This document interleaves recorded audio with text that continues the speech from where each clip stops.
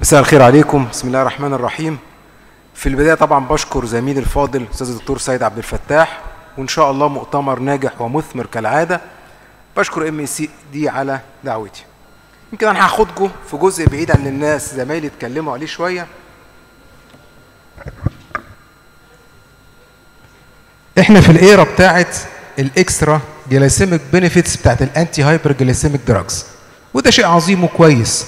إن أنا أدي anti hyperglycemic drugs تقلل لي ال MACE تقلل لي hospitalization ل heart failure تقلل ال progression بتاع ال diabetic kidney disease إنما في خضم هذه ال era السؤال اللي بيطرح نفسه هل ما زال ال early وال good glycemic control matters يعني أنا لو عملت good glycemic control أنا هحسن ال outcomes بتاع العيانين اللي عندهم type 2 diabetes اللي أنا بعالجهم؟ هل أنا هقدر أوصل للجول اللي أنا عايزه؟ وأهم حاجة إن أنا أمنع أو أجل أو attenuate ال complications تعال نشوف القصة هتبقى ماشية إزاي. إحنا ليه مهتمين بال diabetes؟ مؤتمرات وبنسافر ونفرد له وقت كتير من حياتنا. هل ال diabetes بي deserves كل هذه الأهمية؟ السؤال قولا واحدا نعم. ال diabetes ليه high prevalence worldwide وإحنا ك Egyptian population involved في هذا ال high prevalence بقوة إحنا من ال top 10 countries as regard the number of people with diabetes متوقعين إن ال Egyptian population 2045 عدد ال diabetic patient يتضاعف. مش بس الهاي بريفالنس بتاع الدايابيتس ده الترومندس بيردن اللي بيعمله الدايابيتس على البيشنت هيمسيلف والكومبليكيشن اللي بتحصل في multiple organ system في burden على ال health care providers في burden على ال society من ال patient من ال diabetes ال cost بتاع علاج ال diabetes وال complications بتاعته دي burden على ال society دي دراسة مهمة قوي دي real world evidence عايز حضرتك تركز على الرقم. بصوا وشافوا قد إيه من الناس في الدراسة دي كانوا واصلين ل target من ال glycemic control يعني A1C أقل من سبعة. شوف الرقم قد إيه؟ أقل من 50% بس هم اللي واصلين لل target whatever هو بياخد إيه anti diabetic drug الناس اللي كانوا ماشيين على انسولين النسبة اللي كانوا واصلين لل target من ال glycemic profile كانوا أقل من 30% قد يكون الوضع عندنا في مصر إحنا دمنا حامي شوية قد يكون أفضل. بص Egypt الأرقام. اللي ماشيين على oral glucose lowering drug ومتظبطين 20% بس. اللي oral وانسولين 7% بس. على الانسولين بس اللي واصلين لل glycemic target 27% طب هو زي ما بقول هل ال glycemic control ليه benefits الإجابة لازم تكون evidence based حضرتك ال chronic hyperglycemia دي بتبقى load على ال beta cells بيبقى فيه increase demand لل insulin release ويطلع معاه pro insulin كتير. ويبقى فيه endoplasmic reticulum stress كل ده بيؤدي إلى apoptosis و beta cell death والحاجة اللي بتموت ما بترجعش تاني. دي الدراسة اللي كلنا حافظينها. ال UKPDS دي كانت من ال largest وال longest trial اتعملت على ال newly diagnosed type 2 diabetes. شوف حضرتك مجرد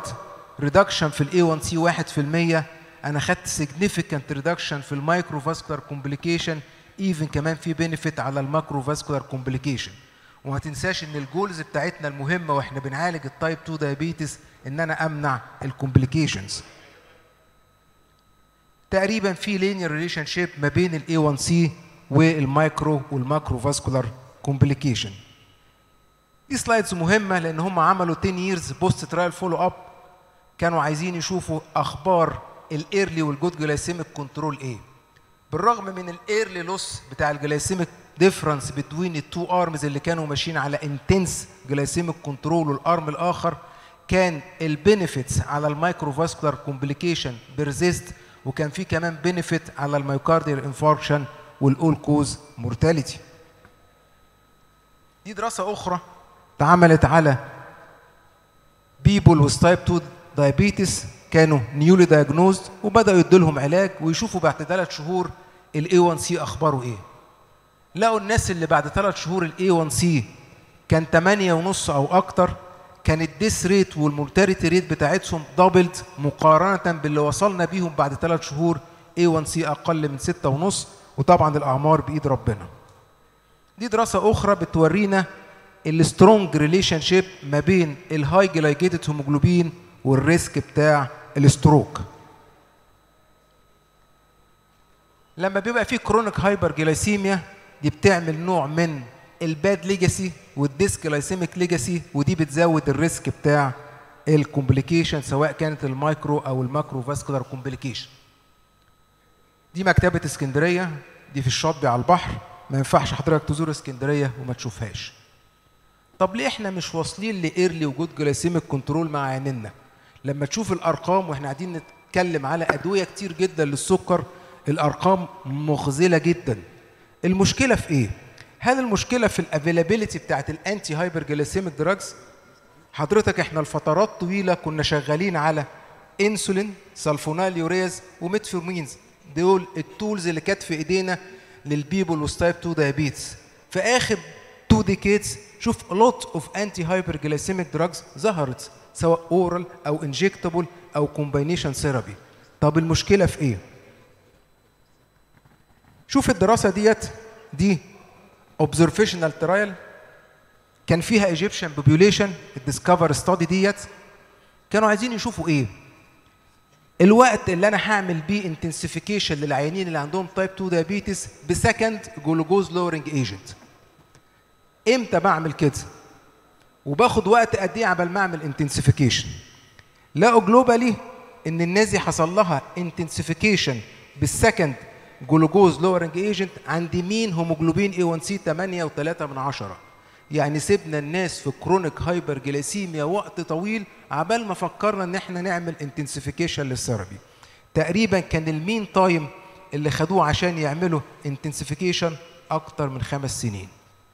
وبالتالي هي دي القصة اللي ما بتوصلنيش لل early وال good glycemic control ال clinical inertia اللي قد أكون أنا كطبيب مسؤول عنها أو المريض مسؤول عنها أو إحنا الاثنين مع بعض مسؤولين عن هذه ال inertia. شوف الدراسة ديت real world data بتقول لي إيه؟ بتقول لي بالرغم إن كان في ناس عندهم type 2 diabetes وال A1C بتاعهم 9% أو أكتر إحنا ما عملناش لناس intensification لل treatment الا تقريبا 59% وسايبين 44% عندهم A1C 9% أو أكتر وما تعمل لهمش intensification لل therapy ده ال clinical inertia هتقول يا دكتور محمد في التأني السلامة ده جاي لي عيان السكر ولسه متشخص ومتضايق وزعلان بالهداوة. نظبطه على مدى سنة سنة ونص. شوف حضرتك ال data دي بتقول لي إيه. دي retrospective study لما أخرنا ال intensification بتاع ال treatment للعيان اللي كان عنده سكر لمدة سنة وسبناه A1C 7% أو أكتر ده زودنا ال risk بتاع كل ال cardiovascular complication ال MI ال stroke ال heart failure وال cardiovascular events يبقى دي أهمية إن إحنا لازم نوصل ل early و good glycemic control مع العيان اللي عنده type 2 diabetes عشان أوصل بيه لبر الأمان. كمان ال holistic approach أو ال multifactorial approach أنا لازم أعمل addressing لكل ال risk factors اللي هتعمل لي multiple organ complication لهذا المريض. زي ما بعمل focus على ال hyperglycemia لازم أعمل اجريسيف مانجمنت للديسليبيديميا للهايبرتنشن للسموكينج للاوبيزيتي للفيزيكال ان اكتيفيتي كلنا عارفين ال Steno 2 اللي كان فيها multifactorial approach وكانت جايبة result ممتازة و significant as regard ال outcome وال complication لما أجي أعمل glycemic control وعايز آخد benefits وأقلل ال complication لازم يبقى ال control ده early زي ما ال UKPDS قالت لي لأن أنا لما بستنى خلاص بقى في dysglycemic legacy و dysglycemia في ال tissue فدي risk factor لل micro وال macrovascular complication دي data بتقول لي إن ال improvement في ال glycemic control قللت لي ال cardiovascular events وتعالى شوف حضرتك الأرقام إيه؟ لما قللت A1C 1% كان في relative risk reduction لل MIs 26% لما قللت ال A1C 1% كان في relative risk reduction لل non-fatal stroke 41% وبالتالي إجابة السؤال اللي قلناه هل ال glycemic control matters هل مهم؟ الإجابة نعم وبقوة وقولا واحدا. حضرتك أول ما تشخص العيان اللي عنده type 2 diabetes لازم تحط عينك على ال target اللي المفروض يوصل له هذا العيان لأن ده individualized وزي ما قلنا في عوامل كتيرة بتتحكم في parameters إنما ال ADA قالت لنا إن ال adult أو ال most adult ال non-pregnant أنا عايز أوصل ل A1C أقل من سبعة more stringent أو less stringent according to هذه ال parameters اللي كلنا عارفينها الديوريشن والريسك اوف هايبوجلايسيميا والكوموربيديتي والكومبليكيشن هل ال sitagliptin ممكن يوصلنا لل aim اللي إحنا بنتكلم عليه ونعمل early و good glycemic control حد عارف ده إيه؟ ده كوبري ستانلي ما ينفعش. حضرتك تيجي اسكندرية وما تتمشاش عليه في المغربية تبقى شيء جميل جدا. دي مدام نهى 53 سنة دي overweight عندها سكر من 13 سنة. ماشيه على antihypertensive drug جالها MI من سنة. ماشيه على ميتفورمين 2 جرام في اليوم. كانت على sitagliptin بس لما جالها stroke ال physician قال لها لا نحول على حاجة ليها benefit على ال هذا ال complication فعطلها ال SGLT2 inhibitors وشال ال sitagliptin. هي جاية تعمل check up وبتقول لك خلي بالك لو سكري مش مظبوط أنا أوعى تديني حقن أو تشكشكني. وقالت لك أنا الشغلة بتاعتي بتخليني ال meal pattern بتاعي يبقى irregular ال A1C بتاعها 8.1 من عشرة normal creatinine ده ال lipid profile بتاعها وده الاي اس تي والاي ال تي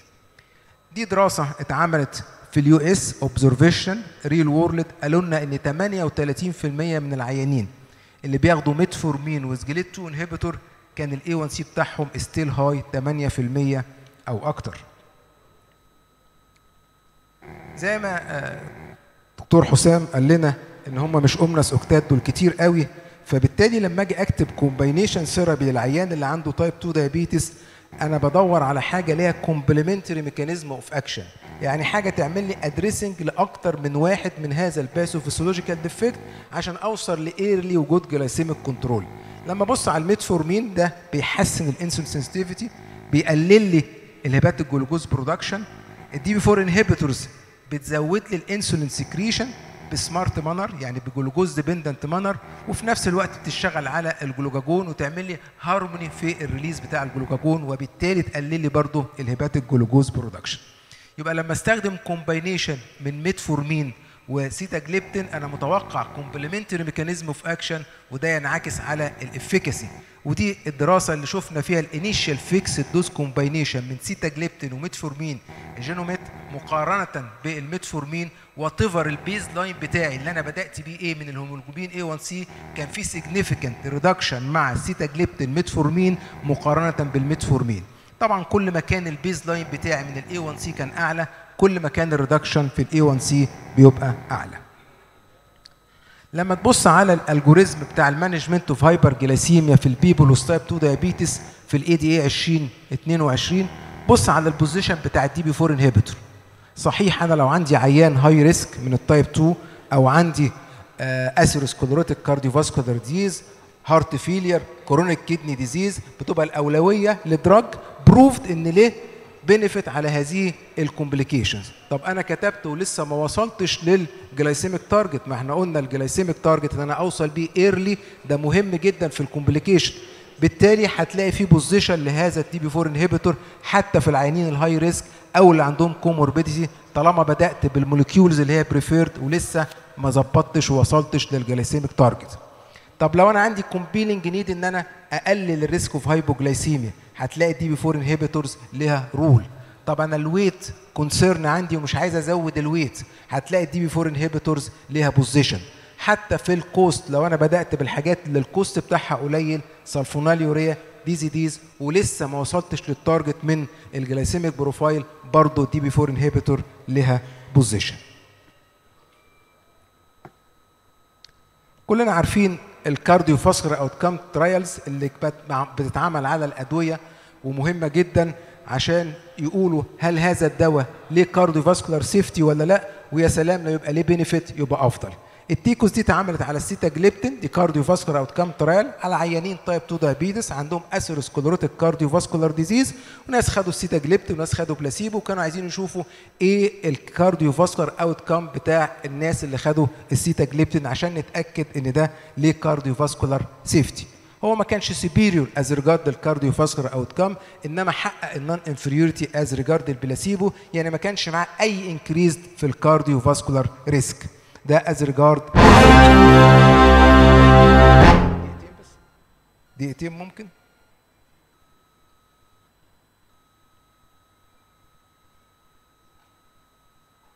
برضه ما كانش ليه أي deleterious effect على ال hospitalization لل heart failure لأن إحنا في molecule في المجموعة دي كان لها مشكلة مع ال hospitalization لل heart failure ولما عملوا subgroup analysis في الناس اللي كان baseline عندهم heart failure ما كانش في أي increase في ال heart failure related outcomes دي بحري قلعه قايتباي دي دراسة observation retrospective كانوا عايزين يقارنوا ال cardioprotective effect بتاعة ال DPP-4 inhibitor مع السلفونايل يوريا. اتنشرت من حوالي ست شهور. arm كان ماشي على السلفونال يوريا و arm ال DPP-4 inhibitors معظمهم كانوا ماشيين على ال sitagliptin يليها ال vildagliptin ال cardiovascular outcome كلها كان in favor مع ال DPP-4 inhibitors وبالتالي في هذه ال retrospective observation trial قالوا مع ال DPP-4 inhibitor مقارنة بال sulfonylurea ال risk بتاع hypoglycemia أقل ال hospitalization لل hypoglycemia يعني severe hypoglycemia أقل ال cardiovascular outcome كان أفضل مع ال DPP-4 inhibitor وكان أحسنهم ال sita وال vildagliptin وال saxagliptin زود ال hospitalization لل heart failure هي أنا لما شفت ال retrospective observational trial دي طب إحنا بنقول دول safe على ال cardiovascular هل ليهم cardioprotective effect ال observational study دي ما وضحتش ولا بتعمل explanation ليه هم كان لهم cardioprotective effect فأنا لما دعبست وقريت شوية قالوا احتمالات قالوا احتمال إن السلفونال يوريا وفي ال trial دي كان في hypoglycemia كتير وكان في severe hypoglycemia وكان في hospitalization لل hypoglycemia أكتر مع السلفونيلوريا فقد يكون ده سبب ال deleterious effect of hypoglycemia على ال cardiovascular outcome وقالوا حاجة تانية قد تظهر في الأيام القادمة إن DPP-4 inhibitors دول بيقللوا ال glucose variability يعني بيحافظوا أكتر وقت ممكن من اليوم إن يبقى الجلوكوز أو ال glycemic profile بيبقى in range شكرا لحضراتكم.